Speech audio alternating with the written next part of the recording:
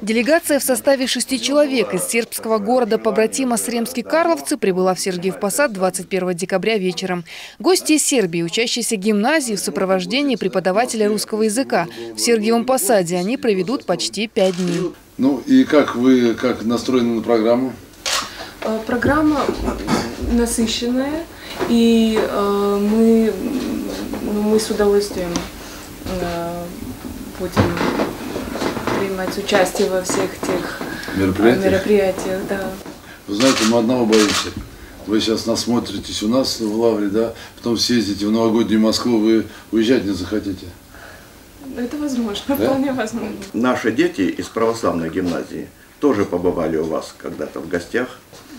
И вот это э, такой ответный визит, несмотря на то, что сложные условия стали в России, и тем не менее удалось э, организовать вас приезд. Я просто искренне благодарен э, администрации города за то, что они нашли возможность В ходе беседы девушки пояснили, что многие из них впервые посетили Россию, а также сказали, чем привлекателен для туристов их родной город, побратим Сергиева Посада, и гимназия, в которой они обучаются. большая библиотека, которая очень-очень важна сербскому народу, потому что там находятся драгоценные книги.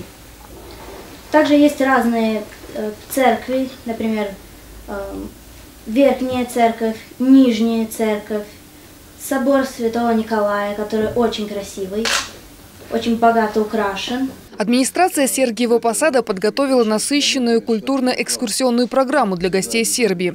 Им предстоит увидеть районные достопримечательности и столицу, а также пообщаться со сверстниками и педагогами гимназии Альбинского.